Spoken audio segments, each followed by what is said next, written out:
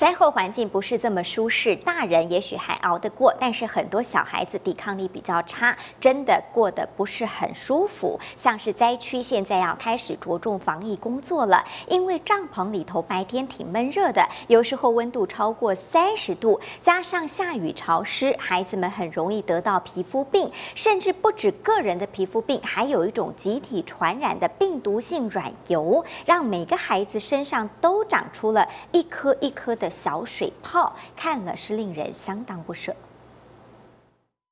走进帐篷区，这里白天的温度超过三十度 C，相当的闷热。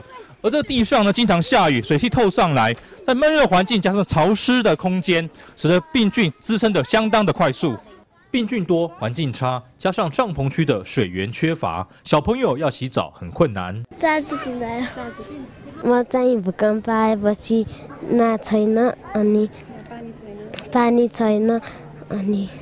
病菌留在身体上，孩子们挤在帐篷内睡觉，病菌一个传一个，最后集体感染了病毒性软疣，皮肤长出许多颗粒。在这种比较密闭的空间哈，那再加上接触比较频繁，就很容易诶传开来。